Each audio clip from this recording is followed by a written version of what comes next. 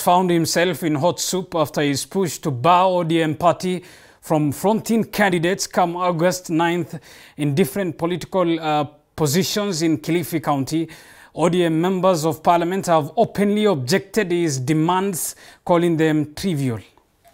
It was after these remarks made by the Kilifi Governor Amason Kingi that an uproar from members of parliament from Kilifi County befell the governor. Kule juu tutakufa na wewe, lakini kuanzia governor mpaka MCA funa za mzini. Tunataka kujipatia nguvu sisi wenyewe. Tutakuwa na sauti ndani ya serikali ya Raila Amolo Odinga. Kwa hivyo tunasema tunaenda na Raila, lakini na masharti yetu.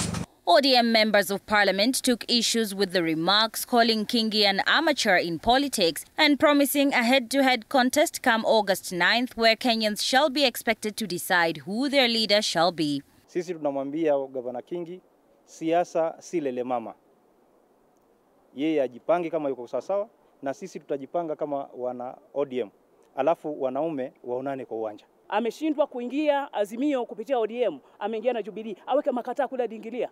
Sisi kama ODM diehards, viongozi walio mamlakani saa hizi tunaombea Amason Kingi, tuliza majembe.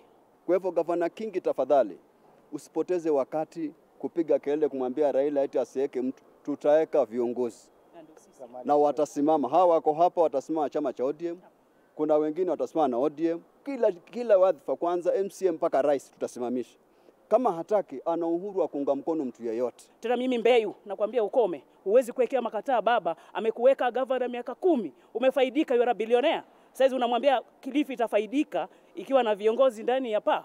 The MPs have called Kingi an amateur in politics despite his 10 years' experience in political arenas, noting that Raila Odinga was the one responsible for the Kilifi governor's political success.